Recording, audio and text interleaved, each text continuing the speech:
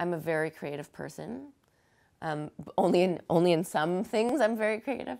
Um, like I can't draw at all. I can't, you know. Quinn's got all the drawing powers in our family. Um, I uh, I want to make a difference, um, whether it be performing on stage, which gives people hope, or usually what I really want to do is raise money for brain cancer research. Because um, I know that I feel like there is a cure, they just haven't found it yet. And they have done so much research in the last five years that has like completely changed everything.